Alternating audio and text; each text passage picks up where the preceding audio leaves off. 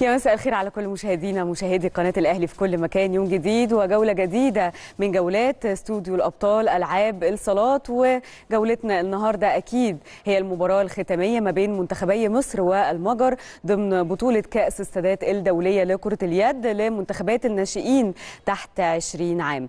النهاردة اليوم الثالث على التوالي لأيام هذه البطولة. الحقيقة أن إحنا بدأنا بث هذه المباريات لحضراتكم طبعا على شاشة قناة النادي الأهلي حصريا وعلى الهواء مباشرة سواء المباراة الأولى الرسمية ما بين منتخبي مصر ورومانيا واللي انتهت بنتيجة 31 29 لصالح منتخبنا الوطني طبعا.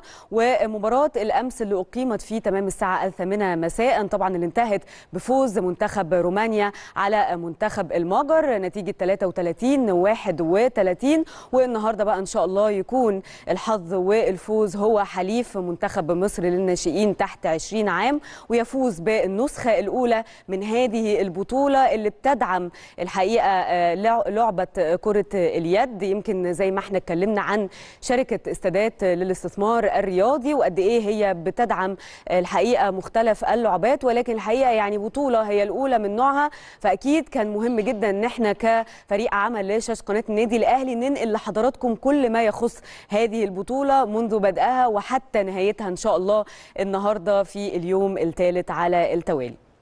خلينا نتكلم شوية. طبعا النهارده هيكون معانا استوديو تحليلي مفصل لحضراتكم عن كل ما يخص الأجهزة الفنية سواء لمنتخب مصر أو منتخب المجر. الحقيقة إن منتخب مصر كان واجه منتخب المجر في مباراة ودية كانت قبل انطلاق هذه البطولة رسميا كانت قبل يعني يوم الحقيقة من انطلاق هذه البطولة رسميا. كانت مباراة ودية ما بين الفريقين. شفنا الحقيقة يعني سواء منتخب مصر أو منتخب المجر كانت مستوياتهم الحقيقة متقاربة بشكل كبير ويمكن كمان كان منتخب مصر ومنتخب رومانيا كانت مستوياتهم متقاربة.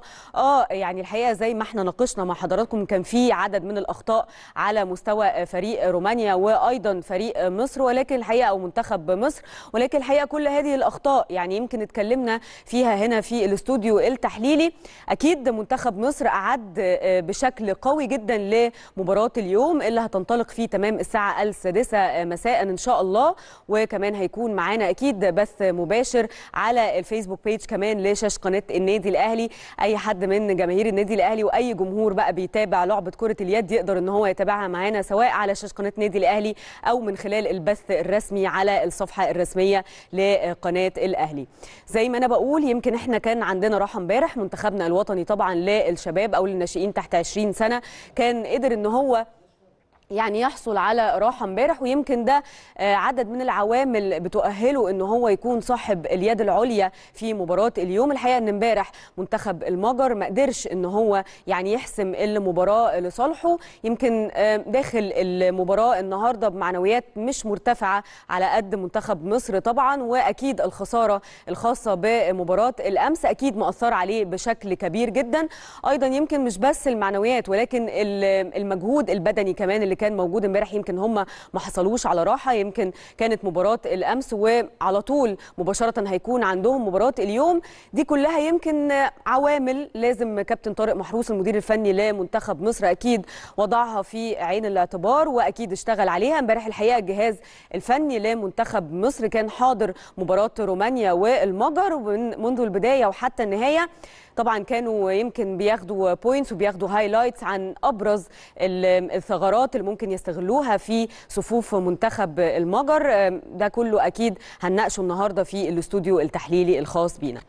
اتكلمنا عن فكرة دعم شركة السادات للاستثمار الرياضي لهذه اللعبة. شايفين إن هي بتقام قبل أيام قليلة جدا من انطلاق بطولة كأس الأمم الإفريقية لكرة اليد واللي هتقام إن شاء الله أيضا على صالات استاد القاهرة زي ما هذه البطولة كانت بتنطلق على صالة 2 باستاد القاهرة.